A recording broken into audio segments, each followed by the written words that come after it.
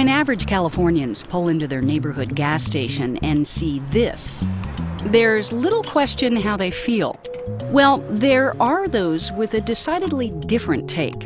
In some ways, I hope that uh, the price of oil stays high.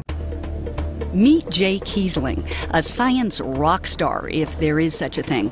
Keasling is a synthetic biologist, part genetic engineer, part molecular biologist, part chemist. He's the chief executive officer of the new Joint Bioenergy Institute, or JBEI.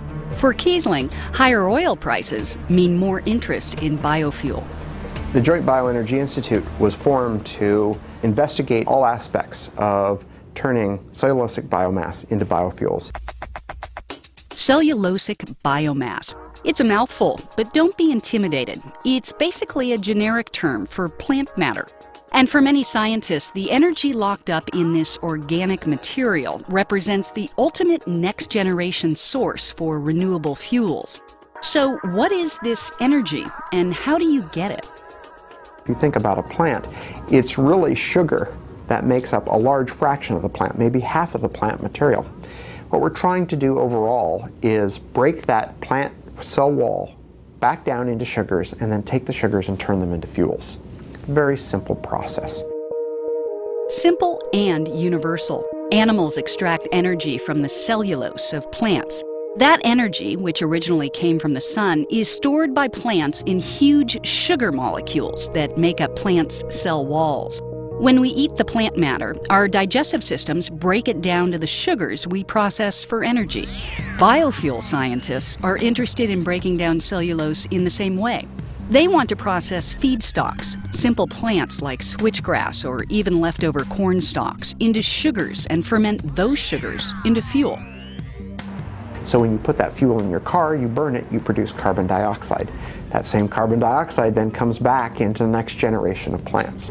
On the other hand, burning petroleum releases carbon that's been locked away deep underground, increasing the amount of carbon in the atmosphere and contributing to global warming.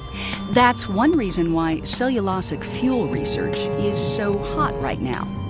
Need proof? In February of 2007, British Petroleum offered UC Berkeley a $500 million grant for biofuels research, the biggest such award ever made to a university. And JBEI, funded by 125 million from the Department of Energy, promises to be another epicenter. JBEI's concept is to house numerous research teams from academia and industry under one roof. We want to speed up the pace of research, and that means improving communications. Rather than waiting for a phone call across the country to talk to your colleague, go to the next bench. Tell them your result. But why go to all this expense when we already have a working solution? Ethanol derived from corn is already available, and in some states accounts for 10% of what you put in your car. Well, Corn ethanol is made from corn kernels, which stresses a potential food supply. It takes lots of energy to make, and it provides lower mileage than gasoline per gallon. And there are other problems. You can't transport it through traditional pipelines because it picks up water along the way. You have to use trucks and train cars. So we really looked at this and said, we really need next generation biofuels things that will behave like the gasoline. That we can use the traditional infrastructure and the automobiles that we've invested in. And there's trillions of dollars of infrastructure that we've already built around this hydrocarbon based economy. The first step in accomplishing this goal is to find or design a plant or feedstock that can be produced in huge amounts at low cost. And then you have to break down their sugars for fuel fermentation. Plants have evolved to protect the sugars in those cell walls. Uh, they don't want other organisms coming in, like beetles, like uh, microbes, chewing them up and getting access to those sugars. So they built protection. These sugars are strung together in long polymers. So these polymers actually make it insoluble so that it isn't dissolved by water so readily. These insoluble sugars need to be broken down into simpler sugars that can be fermented into fuel. One way to do this is to use natural enzymes found in microbes the world over. In the lab, this step is called deconstruction. Dr. Blake Simmons of Sandia National Labs heads up JBEI's efforts. One potential deconstruction machine is a microbe called sulfolobus. It breaks down cellulose, and it already thrives in environments that are as inhospitable as the inside of a commercial refinery. Sulfolobus is a very interesting bug. Um, the fact that it grows in a sulfuric environment and, and, performs metabolic functions very efficiently in that environment make it very intriguing from several standpoints. From a biorefining standpoint, if you can run things at conditions that are um, hotter and more extreme, you don't have to worry so much about contamination. Simmons and his team have already made significant strides in the deconstruction process. Here, you see the results of one of their experiments. The breakdown of the plant's cell walls is easy to see. From here, the resulting sugar soup would be handed off to Dr. Keasling's fuel synthesis team. Like the deconstructors, Keasling's fermenters are betting on microbes. Through the centuries, we've cultivated microbes to turn sugars into ethanol. Uh, ethanol is not the best fuel. We'd like to produce molecules, fuels, that look like the 91 octane, for instance, that you put in your gas tank. But Microbes don't produce them naturally, so we have to trick them into doing this.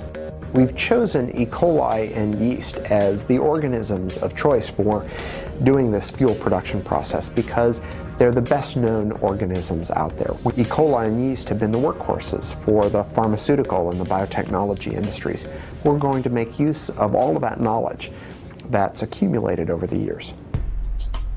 In order to redesign a yeast or E. coli microbe, changing it so it eats sugars and excretes fuel, synthetic biologists like Keasling use two methods metabolic engineering and directed evolution. In our bodies, we take in sugar, and that sugar is then turned into protein and fats um, that make up our body. Metabolism is responsible, is the chemistry that takes that sugar and turns it into proteins and fats. Metabolic engineering is engineering that chemistry that naturally goes on inside the cell to try to change it to get it to do what you want it to. Synthetic biologists build a new microbe almost the way you might build a machine. They recombine genetic parts so that the resulting new microbe excretes the desired material we can reuse those parts for many purposes for engineering biology, making a fuel, making a cheap drug, making a chemical, say biodegradable carpet fibers.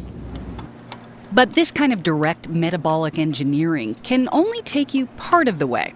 To go the rest of the way, they use a process called directed evolution. In directed evolution, you evolve the cell. You don't know specifically what change you want to make but you force the cell to make mutations in the gene and then you find the cell that does the correct mutation that you want. With evolution, you've got to screen through millions of solutions to find the right one. It's like finding a needle in a haystack, if you will. We tend to use directed evolution and metabolic engineering together. You recombine the parts and you get 90% there with metabolic engineering, and then we use evolution to fine tune it. And the combination of the two is actually works extremely well. In a fermenter like this, Keasling's engineered microbes eat simple sugars and excrete biofuel. It's only a beaker full of product, but it is a start. And if all goes according to plan, a small fermenter like this might someday be scaled up to become the heart of a biofuel refinery. Still, all the biofuels news isn't rosy. Some recent studies suggest that creating biofuels from plants can actually increase greenhouse emissions when the clearing of land and cultivation are taken into account. I don't think there's going to be a single solution to the energy or transportation problems in the United States and the world. I think instead of a silver bullet, we have to take more of a silver shotgun approach that, you know, the 10% solutions, if you have 10 10% solutions, well, now you've solved, solved 100% of the problem. And so I think it's that diversification, both in perspective and in technology, that is going to be key in making this reality.